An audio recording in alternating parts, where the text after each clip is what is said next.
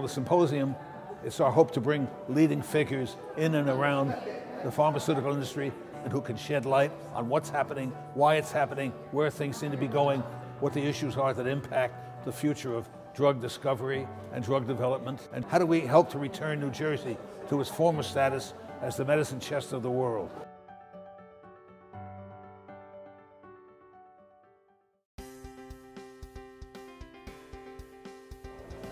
I'm waiting to hear from the representative from the FDA, and I would like to hear her take on the trends in the pharmaceutical industry and how she feels things are going to be changing going forward. Toss the product over the fence and hope for the best. Now, I don't know about any of you, but that's not how I want to treat patients. That's not how I want to be cared for. It's crucial to, to have place that Rutgers host this type of event because, in fact, we can't um, bring about the change we need, the innovative change we need without capitalizing the expertise that Rutgers brings to it. Terrific uh, coming together of uh, regulatory and industry uh, perspectives on the challenge of drug development and, uh, and how do we make a successful business out of bringing miracles uh, to the market.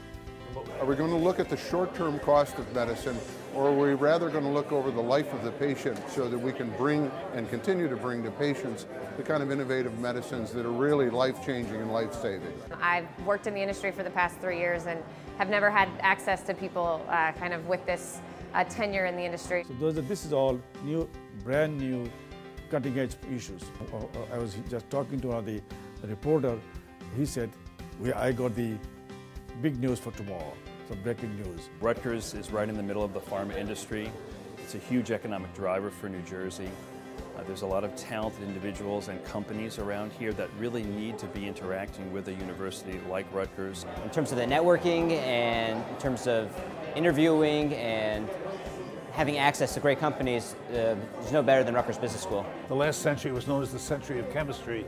This century is going to be known as the century of biology, as new biologicals make their debut and impact diseases in ways that we could not have dreamed of just a few short years ago.